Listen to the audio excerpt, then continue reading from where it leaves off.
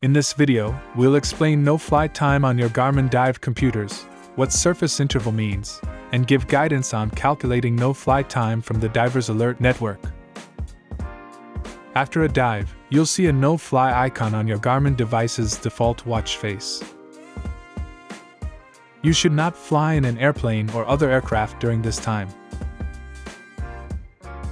The Descent MK3 and Descent MK3i, along with other compatible dive computers, display a convenient surface interval timer on the watch display to help you plan for your next flight or dive.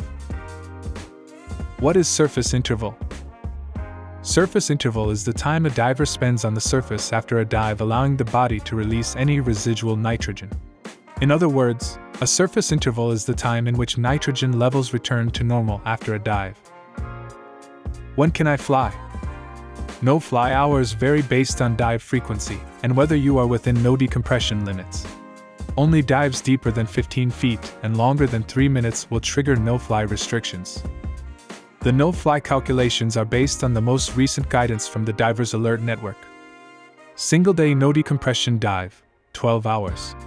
Repetitive or multi day no decompression dive, 18 hours. Decompression dive, 24 hours. Missed decompression or gauge mode dive, 48 hours. If you prefer to use a standard 24 hour timer on your device, go to Dive Setup. Select Advanced Settings.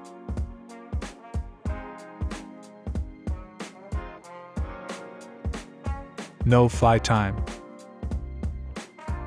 Select Standard or 24 hours. Thank you for watching this tutorial. For more help, please visit the Garmin support website.